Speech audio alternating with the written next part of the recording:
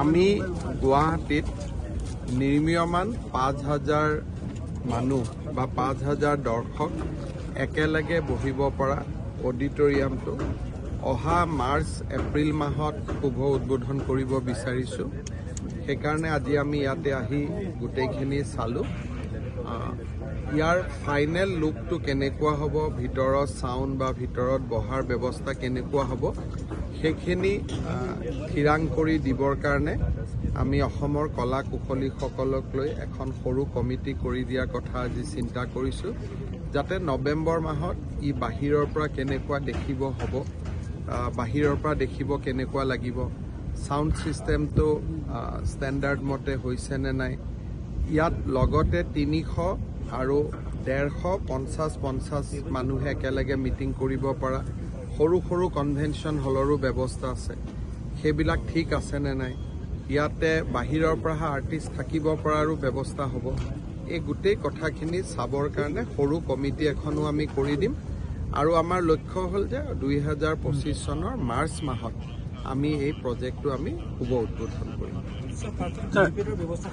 Helipad নাই হেলিপেডটো আমাৰ খানাপাৰাত হেলিপেড থাকিব। ইয়াত আৰু হেলিপেড আৰু আমাৰ ইয়াত ৰাতি যোনে ফাংচন চাব আহিব তাক আৰু হেলিকপ্টাৰ কিয় লাগে? খালি ইয়াতে আমাৰ প্ৰায় আমাৰ যিমানখিনি ভিতৰত গাড়ী আহিব গোটেইখিনি গাড়ী পাৰ্ক কৰাৰ কাৰণে ইয়াতে আমাৰ পাৰ্কিং। ছাৰ সোণাপুৰত যিটো ঘটনা হৈছিলে বিভিন্ন দল সংগঠনে অভিযোগ কৰি আছে যে এহেজাৰ এহেজাৰকে টকা দিয়া হ'ব যোনে আক্ৰমণ কৰিব চৰকাৰী বাহিনীৰ ওপৰত পুলিচৰ ওপৰত। আপোনালোকে জানে যে ট্ৰাইবেল বেল্ট এণ্ড ব্লক যিখন আইন সেই আইনখন গোপীনাথ বৰদলৈ কংগ্ৰেছ দলৰ মুখ্যমন্ত্ৰী হৈ থকা অৱস্থাত এই আইনখন প্ৰণয়ন কৰা হৈছিল। আৰু নিৰবিচ্ছিন্নভাৱে ট্ৰাইবেল বেল্ট এণ্ড ব্লকত সন্দেহযুক্ত লোকসকল আহি সোমাইছে। আৰু যিসকল লোক আহিছে তেওঁলোক ভূম- ভূমিহীন নহয়। ওচৰৰে বুঢ়া বুঢ়ী গাঁও তেওঁলোকৰ নিজৰ ভোটাৰ লিষ্টতো নাম আছে মাটিও আছে। তেওঁলোকে কৰে কি? যে এনেকে তেওঁলোক লাহে লাহে ডিমৰীয়াত সোমাই আছিল। আৰু ডিমৰীয়াত আহি আহি প্ৰায় চাৰি হাজাৰ ভোট পাঁচ হাজাৰ ভোট তেওঁলোকে সৃষ্টি কৰি লৈছিলে। দুবছৰ তিনি বছৰ চাৰি বছৰ পিছত সেইটো এটা বিছ পঁচিছ হাজাৰৰ এটা ব্লক হৈ যায়। তাৰপিছত তেওঁলোকে ৰাজনৈতিকভাৱেও সিদ্ধান্ত ল'ব আৰম্ভ কৰে। আৰু যেতিয়া পঁচিছ হাজাৰ মানুহ হৈ যায় তেতিয়া ৰাজনীতি কৰা মানুহসকলে এভিকশ্যন কৰিব নিদিয়ে। কাৰণ তেতিয়া তাত অভিয়াছলি এটা ইমান ডাঙৰ ভোট বেংক গতিকে মানুহে এভিকশ্যন কৰিলে। যি পাৰ্টীয়ে নহওক আপত্তি কৰিব যে এইখিনি এভিকশ্যন কৰিলে আমাৰ ভোট আমাক ভোটাৰে বেয়া পাব। আৰু এই যে মাতি লৈ আহে কিছুমান দালালে মাতি লৈ আহে। আমি সোণাপুৰত দালালখিনি আমি আইডেণ্টিফাই কৰিছোঁ তেওঁলোকক আমি এৰেষ্ট কৰিম। মানুহবিলাক নিজেও নাহে। অলপমান অলপমান পইচা লৈ দালালবিলাকে আনি বহুৱাই দিয়ে। আৰু এই যিটো ট্ৰাইবেল বেল্ট এণ্ড ব্লক এইটো গুৱাহাটীৰ নিচেই ওচৰত। গতিকে এই বেল্ট এণ্ড ব্লকটোত যদি এইটো অৱস্থা হৈছে বাকী বেল্ট এণ্ড ব্লকত কেনেকুৱা অৱস্থা আমি নিজেই বুজি পাব পাৰোঁ। চৰকাৰে প্ৰচেষ্টা লৈ আছে আৰু যোৱাকালি গোটেই নিশা আমি একশ্যন লৈছোঁ। আজিও ডি জি পি তাত গৈছে কালি এবাৰ সময় হ'লে ময়ো যাম। আৰু আমি তাত ট্ৰাইবেল বেল্ট এণ্ড ব্লকত যিমানখিনি সন্দেহযুক্ত নাগৰিক আহিছে আমি গোটেইখিনিক উচ্ছেদ কৰিম।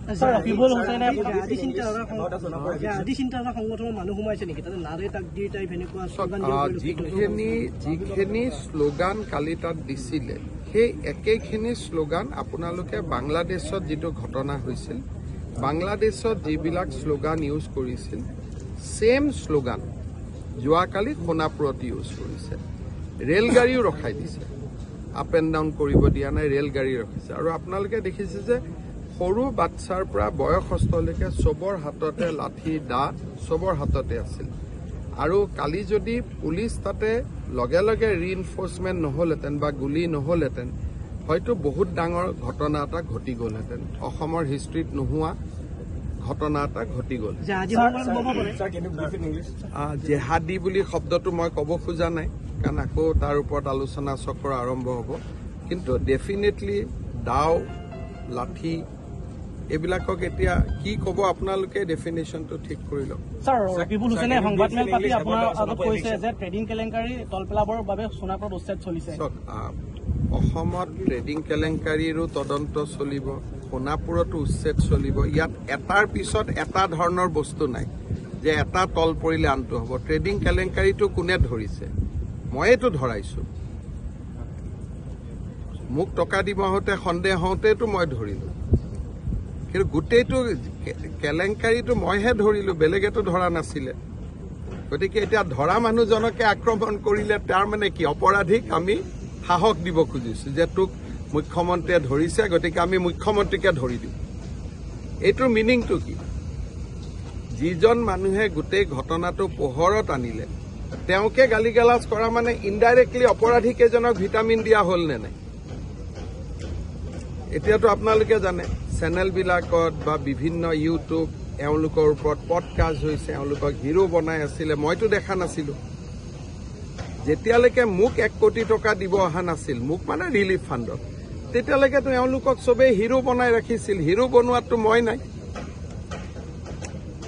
এইসকলক হিৰো বনাই কোনে ৰাখিছিল? আমাৰ সমাজৰ একাংশই ৰাখিছিলে। গতিকে এতিয়া আৰু এইটো পলিটিকেল কৰি মোক গালি গালাজ কৰি কি লাভ আছে? মইতো চবকে ধৰুৱাইছো। আৰু মই এইটোও তদন্ত দিছো যে অহাকালি কেনেকে অপৰাধী কেইজনক জিমখানালৈকে লৈ যোৱা হৈছিল।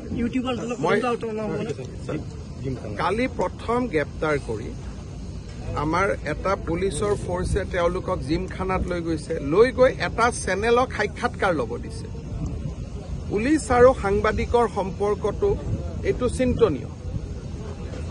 তেওঁলোকক আমি এৰেষ্ট কৰিছো। পোনে পোনে লৈ যাব লাগে থানাত। লৈ নগৈ জিমখানাত লৈ আহি পেলাই এটা চেনেলক আকৌ তাৰ ইণ্টাৰভিউ ল'ব সুবিধা দিয়া হৈছে। মই নিজে চাৰে সাতটা বজাত ইণ্টাৰভিউ চাই আছো। তেতিয়া মই ডি জি পিক ফোন কৰিলো আৰে মই ইণ্টাৰভিউ চাই আছো।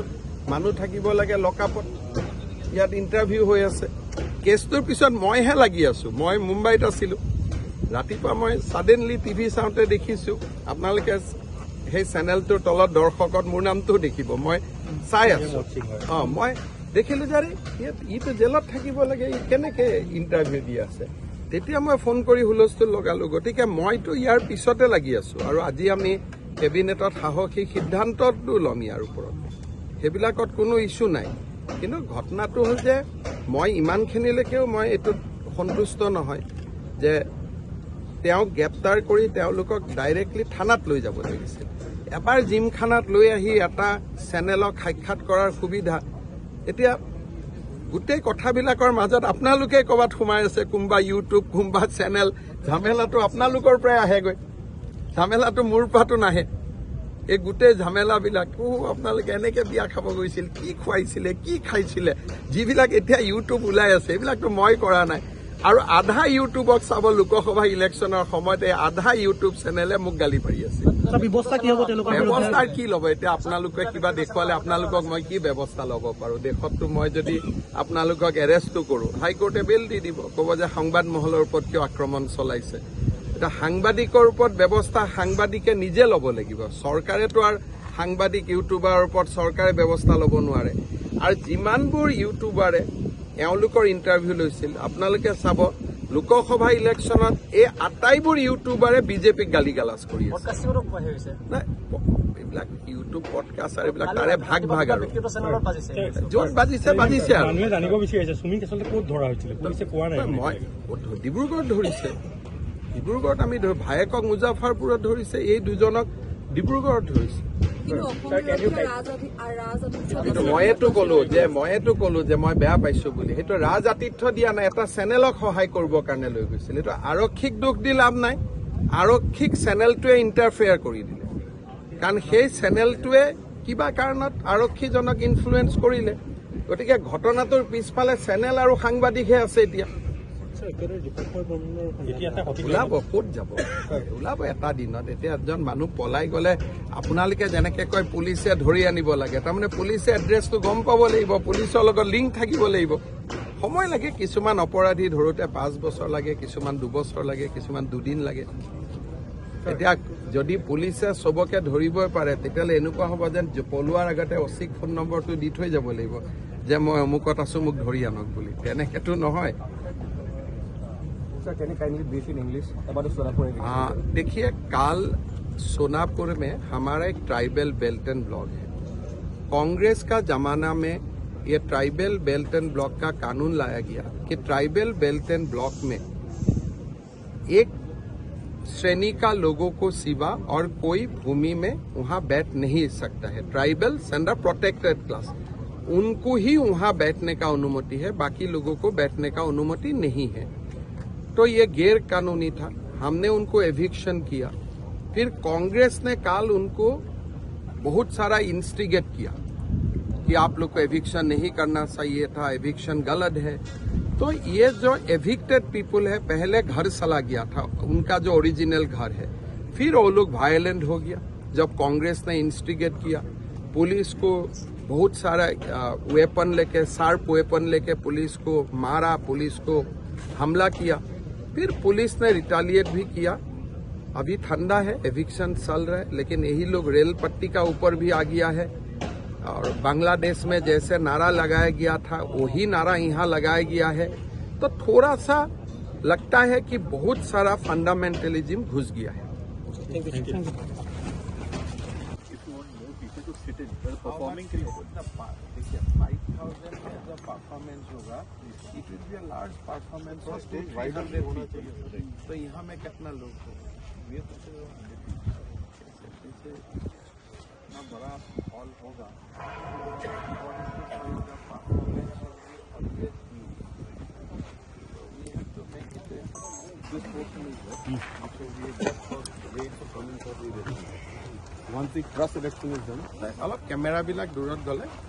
তেতিয়া মই লাষ্টত কৈ দিম because once the election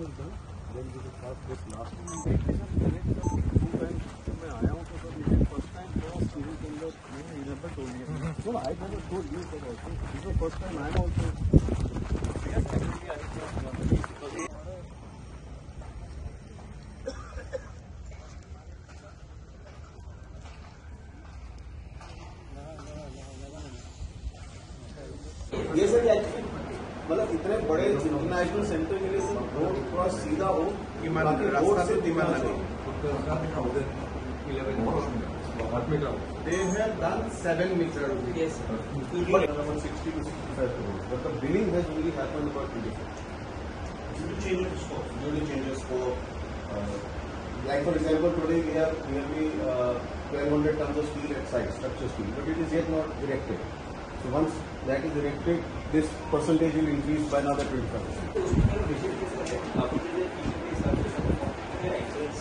Very grand steel.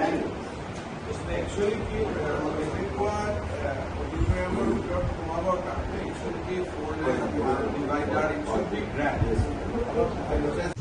আমি গুৱাহাটীত নিৰ্মীয়মান পাঁচ হাজাৰ মানুহ বা পাঁচ হাজাৰ দৰ্শক একেলগে বহিব পৰা অডিটৰিয়ামটো অহা মাৰ্চ এপ্ৰিল মাহত শুভ উদ্বোধন কৰিব বিচাৰিছোঁ।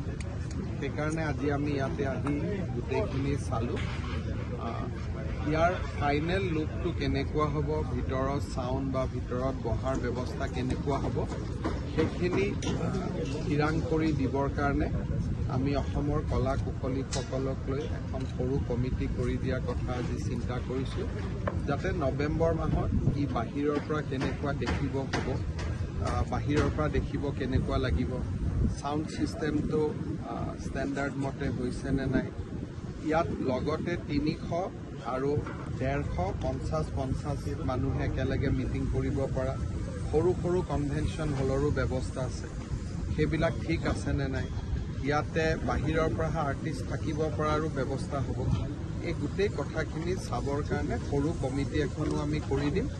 আৰু আমাৰ লক্ষ্য হ'ল যে দুই হাজাৰ পঁচিছ চনৰ মাৰ্চ মাহত আমি এই প্ৰজেক্টটো আমি শুভ উদ্বোধন কৰিম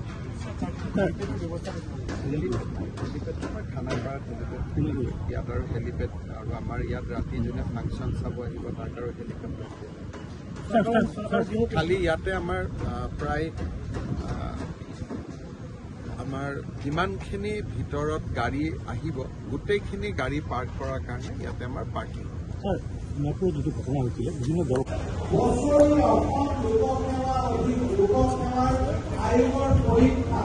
কিমান ল'ৰা মই প্ৰশাসনীয় সেৱালৈ উপহাৰ দিব পাৰিম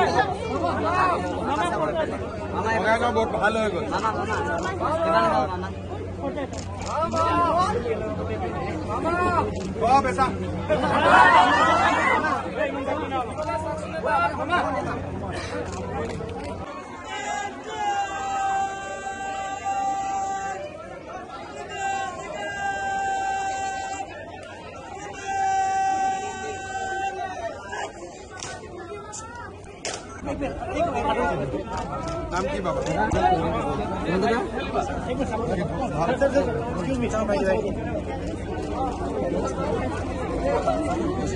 নামটো লিখা নাই? বুক য়েলো বুক আকৌ লগ পাম লগ number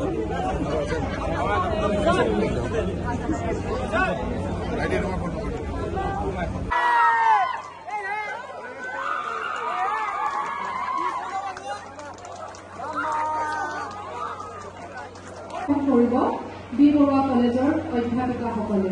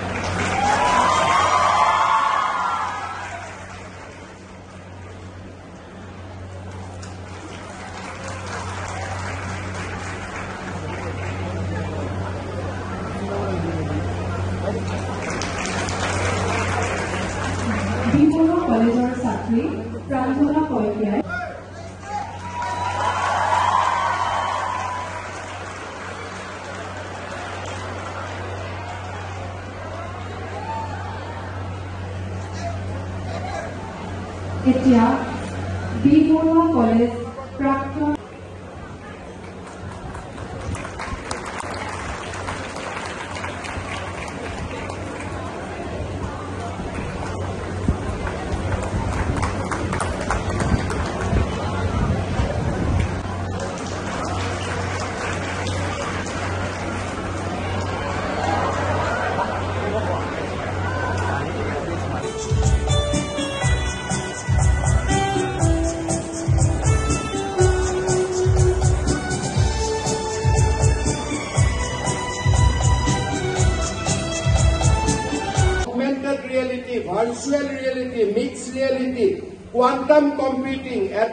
advanced genomics, 3D printing, gene editing, এই ধৰণৰ প্ৰযুক্তিয়ে আমাৰ ভাৰতখনক সম্পূৰ্ণভাৱে প্ৰভাৱিত কৰিব। সেই মুহূৰ্তত আমাৰ বি বৰুৱা কলেজত অহাবোৰ ভাল। পুৰা ভাল। মোৰ আহোঁতে অলপ দেৰি হ'ল তাৰ কাৰণে মই অলপ দুখ মই দুখিত। ৰাজ্যৰ শৈক্ষিক ক্ষেত্ৰখনত আঠ দশক পূৰ্বে খোজ পেলোৱা বি বৰুৱা কলেজে বিগত সময়ত মানৱ সম্পদ সৃষ্টিৰ এক কমাৰশালত পৰিণত হৈছে। এই দীৰ্ঘ পৰিকল্পনাৰ পৰিকল্পনা বহু কি ছাবজেক্ট পঢ়ি আছা? ইকনমিক্সে বেছি মানে degree second year third sem মানে আহ, ছয়টা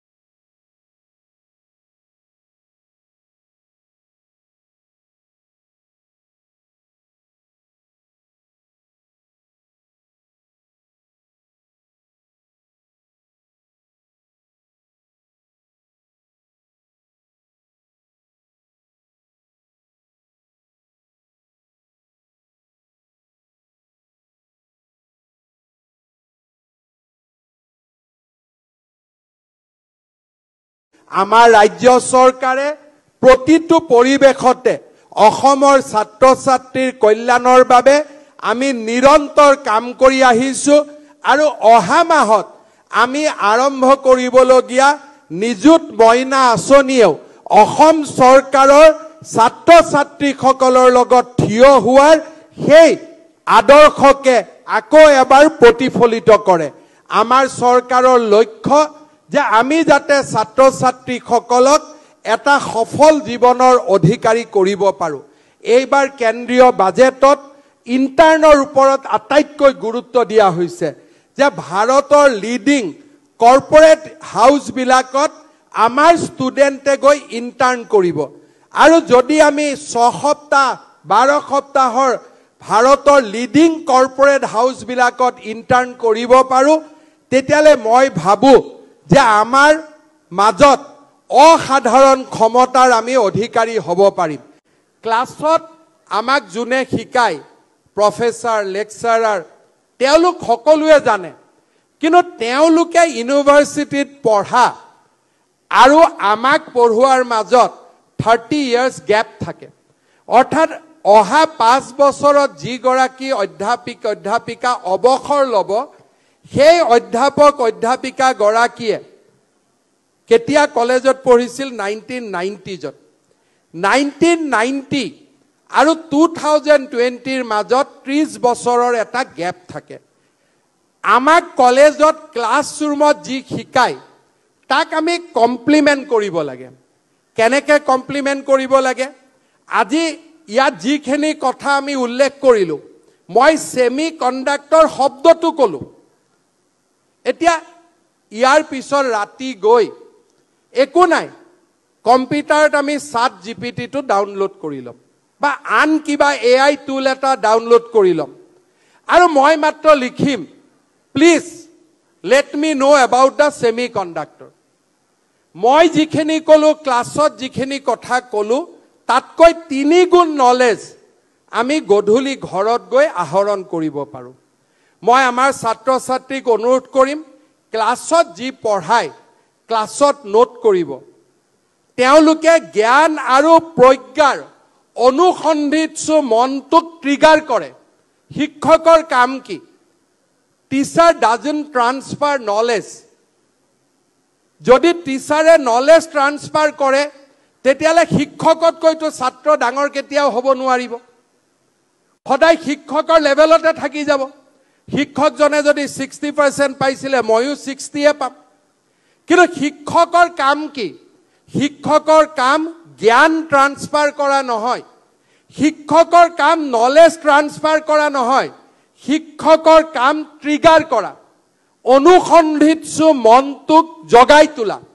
যে this is the subject you must learn and this is the beginning this is the basics মই যেতিয়া ক্লাছত পলিটিকেল চায়েন্স পঢ়াম মই what about the federalism in India মই কণ্টেক্সত ক'ম but whether India is a true federal country or not ইমান দূৰলৈ মই পঞ্চল্লিছ মিনিটত যাব নোৱাৰোঁ। মই মাত্ৰ ক'ম this is the federal characteristics of a nation this is present in United States this is not present in India that is why India is considered to be a federal state with unitary features দুটা শব্দই ক'ম। শিক্ষকৰ কাম ইমানেই। যদি মই গোটেইখিনি ক'ব লাগে ময়ো পঢ়ি আহিব লাগিব। মই আকৌ এবাৰ ইউনিভাৰ্চিটিত যাব লাগিব পঢ়ি মেলি মই জ্ঞান ট্ৰান্সফাৰ কৰিব লাগিব। জ্ঞান ট্ৰান্সফাৰ কৰা শিক্ষকৰ কাম নহয়। অধ্যাপক অধ্যাপিকাৰ কাম নহয়। অধ্যাপক অধ্যাপিকাৰ কাম হ'ল আমাৰ মনৰ মাজত লুকাই থকা অনুসন্ধিৎসু গুণটোক জনাৰ আগ্ৰহটোক জগাই তোলা। দে উইল জাষ্ট এৱেকেন আছ জ্ঞান আৰু প্ৰজ্ঞাৰ আলোকৰে আমাক আলোকিত কৰিব। কিন্তু আমি কিমান দূৰ যাম? Limits its will not be set by our teachers ই আকাশৰ দৰে বহল আমি কিমান দূৰ যাম? আজি যদি আমি চাওঁ যে আমাৰ দেশত ৰয়েল ছায়েন্সৰ কম্বিনেশ্যনত বহুত ল'ৰা ছোৱালীৰ প্ৰয়োজন আছে। কাৰণ এতিয়া ভাৰত মহাকাশত ভাৰত সমুদ্ৰত আৰু ভাৰত এতিয়া সকলো ক্ষেত্ৰতে পিয়াপি দি ঘূৰি ফুৰিব আৰম্ভ কৰিছে।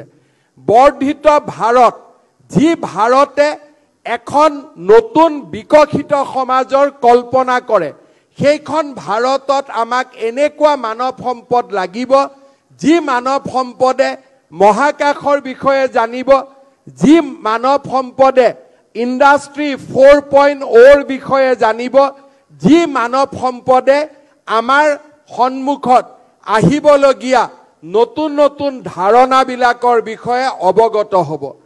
আজিৰ পৰা কিছুদিন আগতে প্ৰধানমন্ত্ৰী মোদী ডাঙৰীয়াই ছেমি কণ্ডাক্টৰ কনভেনশ্যনৰ কনক্লেভৰ অধ্যক্ষতা কৰিছিল। আজিলৈকে আমাৰ পৃথিৱীত ছেমি কণ্ডাক্টৰ ইণ্ডাষ্ট্ৰীক লিড কৰি আছিলে টাইৱানে এতিয়া ভাৰতে সংকল্প লৈছে যে ছেমি কণ্ডাক্টৰ ইণ্ডাষ্ট্ৰীক আমি টাইৱানৰ পৰা আনি আমি ভাৰতত স্থাপন কৰিম। আৰু অহা পাঁচ বছৰত এই ইণ্ডাষ্ট্ৰীয়ে কিমান ল'ৰা ছোৱালীক এমপ্লয়মেণ্ট দিব মিনিমাম দহ লাখ ল'ৰা ছোৱালীক এই ইণ্ডাষ্ট্ৰীটোৱে এমপ্লয়মেণ্ট দিব।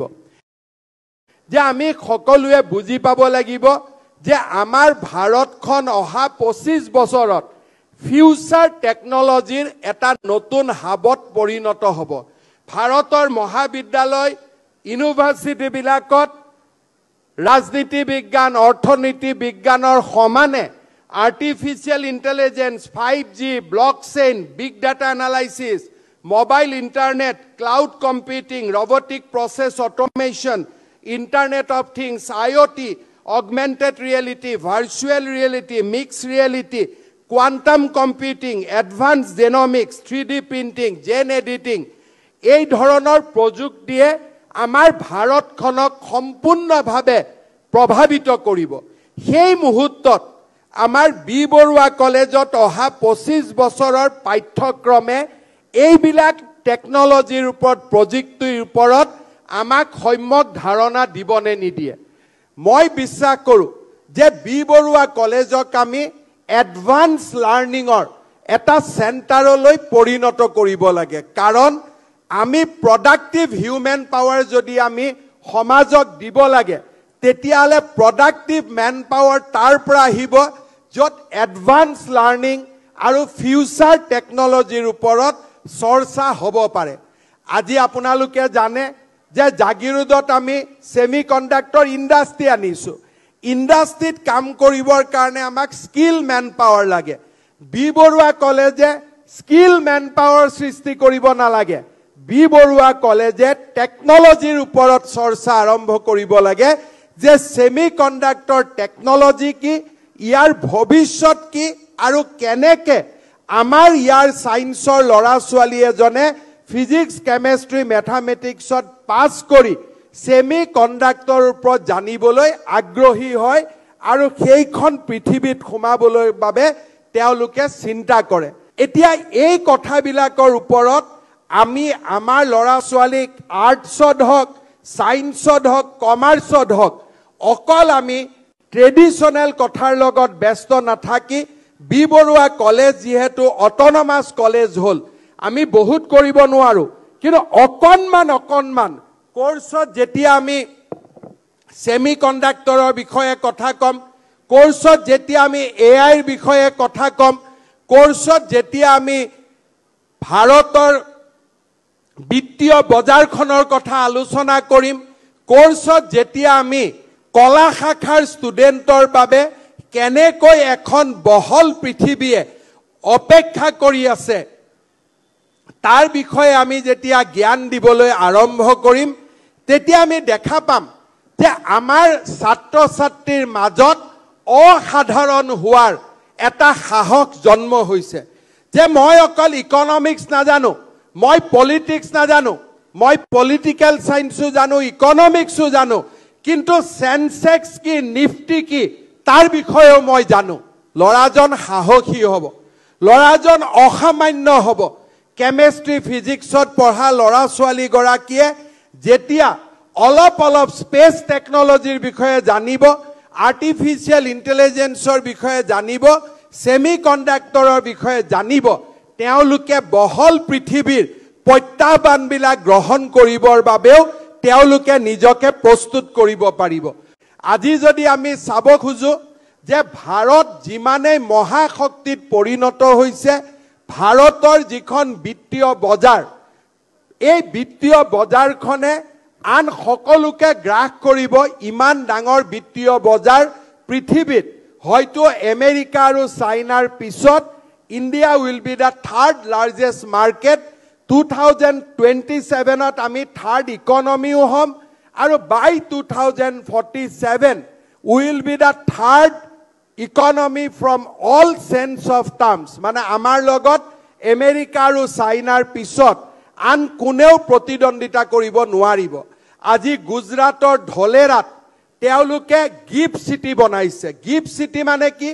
ধলেৰাত যদি আমি বহি থাকোঁ তেতিয়াহ'লে ইণ্ডিয়াৰ কোনো আইনে আমাক ঢুকি নাপায়। অৰ্থাৎ ইনকাম টেক্স দিব নালাগে কৰ্পৰেট টেক্স দিব নালাগে।